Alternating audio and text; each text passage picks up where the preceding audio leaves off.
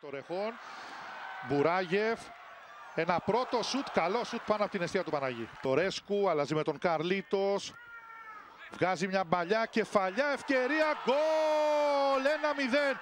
Να που ανοίγει το σκορ και το λογαριασμό των τερμάτων, ο Ματ Ντάρμπι Σάιερ. Μικροαψιμαχίες, Αγκάγεφ. Πάλι ο Ισραηλινός με χώρο. Τώρα επιχειρεί την σέντρα, ούτε τώρα, τώρα θα το κάνει χαμηλά, ευκαιρία. Δεν μπόρεσε εδώ Ντάρμπι Σάιερ. Μεγάλη ευκαιρία για την Ομόνια για ένα δεύτερο γκολ στο γύρισμα του Γκαγκάγεφ. Μαντιμπαγκά, ευκαιρία για την Ομόνια. Κάποιος σουτ έγινε από τον Αγκάγεφ. Τώρα από τον ε, Μαρκάσα. Η μπάλα είναι κόρνερ. Ο Αγκάγεφ πέρασε ωραία, πλησιάζει στο ύψος της περιοχής. Κάνει και το σουτ. Δύσκολο ο Γκαζαριάν σε κόρνερ τελικά.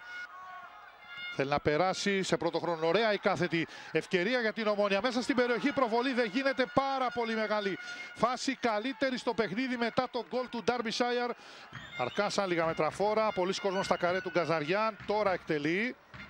Ο Ρενάτο Μαρκάσα ένα σούτ. Ο Γκαζαριάν δύσκολα. Σπουδαία απόκρουση στο σούτ του Παντελιάδη.